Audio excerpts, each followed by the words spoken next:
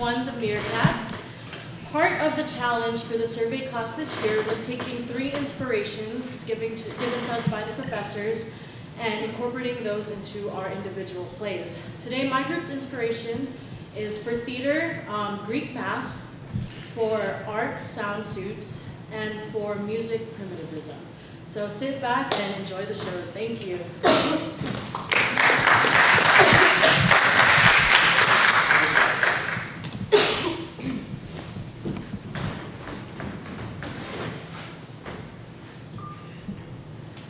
Tell it again, grandmother.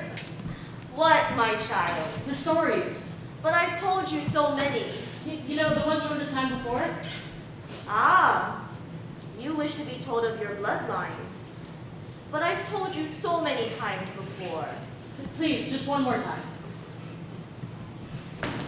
As the young grow old and the old grow wise, time finds it within itself to create tales that are passed down from generations to generations. Tales of sorrow and of woe, of love and heartache, of loyalty and betrayal, of hot drunken power and the cold bitterness of defeat. At the very center of these stories lies the truth. Once they were written in the blood of those who have lived it and retold it so that no more shall be shed. It is that very same blood that ties these two women in our story together. It is the blood that breathes life as much as it takes it. It's, it's throbbing, pulsing with power and compassion, beating like a drum.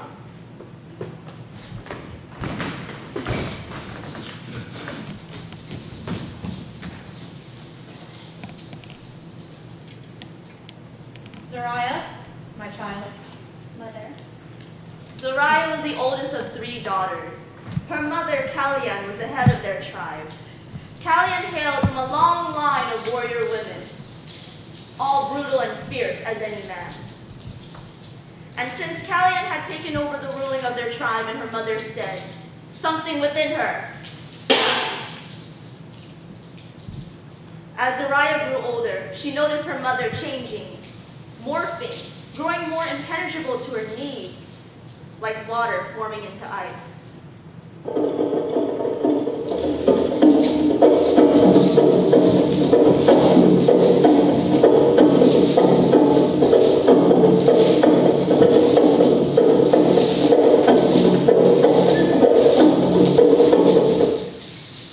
Zariah couldn't be any more different from her mother.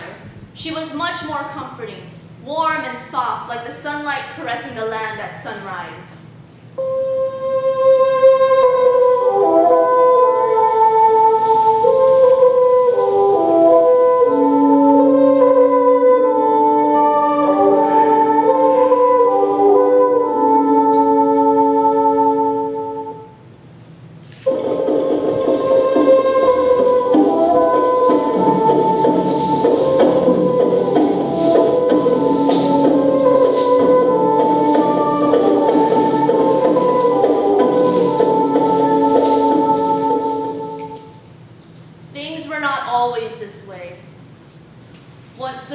Zariah and her mother were inseparable, Kalyan was very comforting to her daughter, despite the clan's dictations of raising their warriors without sympathy or compassion. Name me the duties of being a warrior. To defend and protect. Very good. Now, what does it mean to be family, Zariah? Loyalty. And what is loyalty? To honor the ties that bind you. Very good, my child. Soon you'll be ready to take over when I am gone from this land. Thank you, Mother. There was a time of joy and laughter for mother and daughter, but time is not a kind friend. It makes fools of us all, wears down all things. Even the strongest kneel before the power time has over all. It can heal wounds or leave scars. It molds us, changes everything, something, something beautiful. Sometimes it can be terrible or frightening, but always beautiful. Somehow, in relinquishing childhood and coming into adulthood, herein lies the source of all problems in every story. For time has brought Zariah love.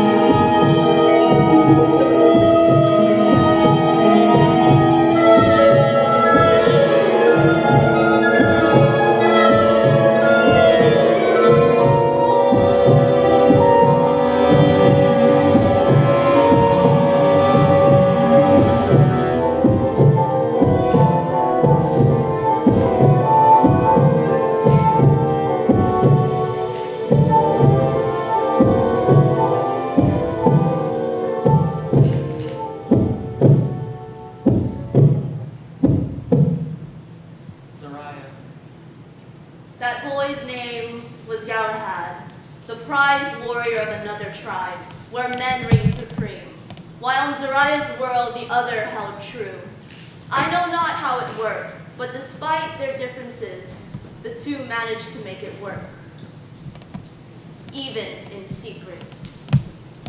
They talked of lovers' things, of the sun, moon, and stars, their dreams and fantasies. Life was shining brightly, but things never stay secret for too long. And soon, too, did their own private universe come crashing down when Callian learned of their secret. Family, duty, honor, do these things mean nothing to you, Zariah? Mother, Mother, I... No. No more excuses, Zariah. No more tears or lies. You knew full and well what this could mean for the clan, and you went ahead in your own selfish pursuit. The clan above the self, Zariah. That is what being a leader means. But I don't want to be a leader, Mother. Please, just listen to me. Let me make you understand. Understand? I don't need to understand, Zariah! I was young once too, but I never kept anything from my mother. And I never strayed from the path that was so carefully laid out for me. I... But I... I'm not you, Mother. This is not the path I chose. You never asked me if I wanted any of this. This is not the life I wish to have.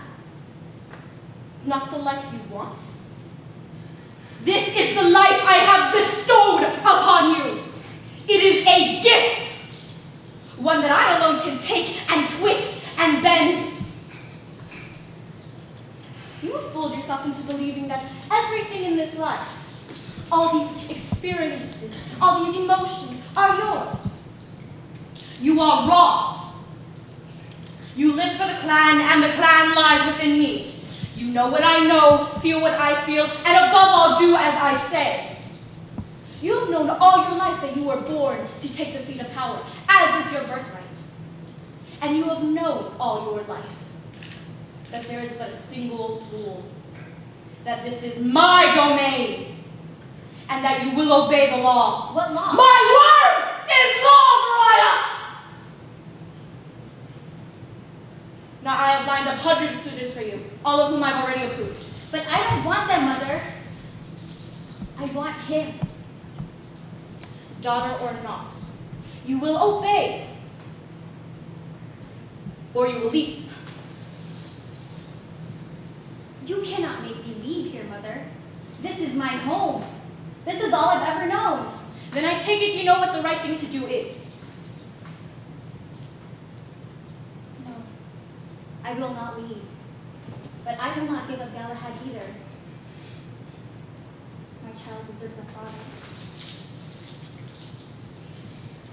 A child.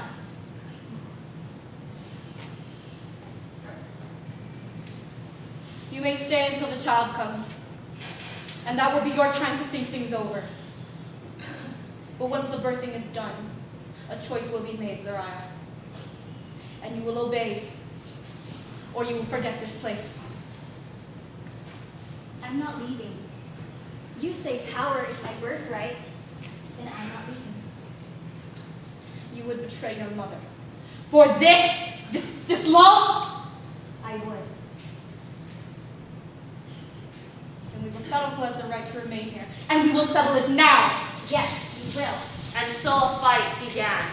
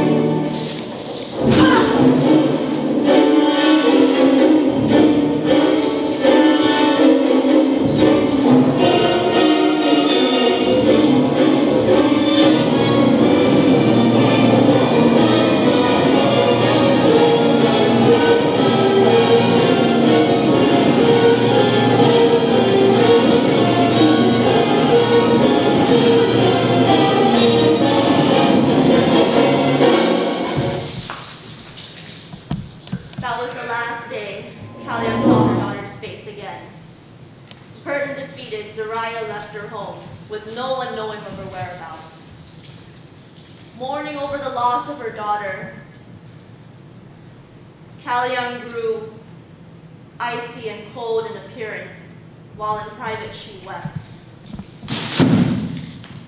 For years this continued, until one day, without reason, Zariah returned home with a child in tow. Her own daughter had grown into a beautiful, strong young woman. Resembling her grandmother in many ways, Zariah believed it was the time to take her rightful place as leader of the tribe. And without letting her daughter know why they had come to such a strange place, she snuck into her mother's chambers with a knife at hand to cut the ties that bound her.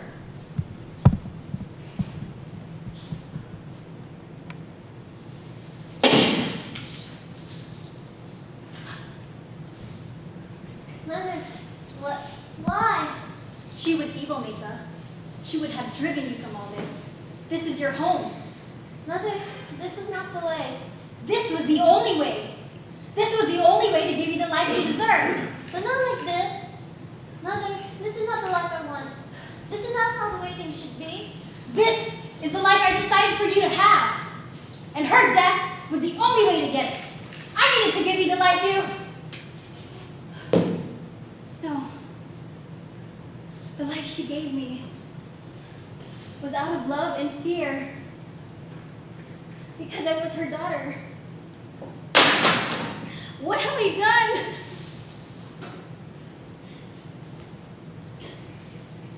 Let's go home, Mother. This place holds nothing for us.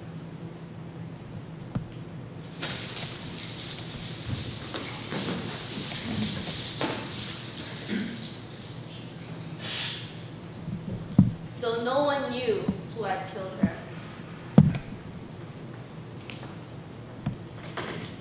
I knew. For it is not every day that a mother is killed by her own child. And it is not every day where this knowledge is passed down to other members of the tribe. I am Kalian, descendant of Kalian. Though it is my ancestors' gift, though it was a carefully laid out plan, my gift is the freedom to choose who you are and where your loyalties lie. To stay or cut the ties that bind you, and to have the freedom to always come home.